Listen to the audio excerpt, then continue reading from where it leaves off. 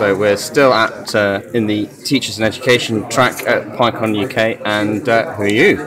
I'm Paul Bryan. I'm an independent software contractor. Okay. And I also do a STEM ambassador thing, so I'm able to go. You're to a STEM ambassador, Yeah, yeah. so- Yeah, Uh, But um, this is a Raspberry Pi, so and it's currently just flashing three LEDs that are traffic lights, so red, red, yellow, Yeah. green. They are literally just plugged directly into a ribbon cable, which is Yeah. plugged onto the board. Yeah. There's no intermediate resistors, so that any Yeah. electrical engineer would be quite upset about this. Yes. But um, we've used a small amount of um, Python code to do that. That looks quite complicated, but effectively all we're doing is saying um, Switch them off switch and on on and Yeah. switch off, Yeah. and then in a particular order. Yeah. And it's so simple that it's been. This is my. I've been here ten minutes. Yep. And I've obviously written some Python code, turned, plugged some LEDs in, Yeah. and got a working Made it working. thing. So I'm.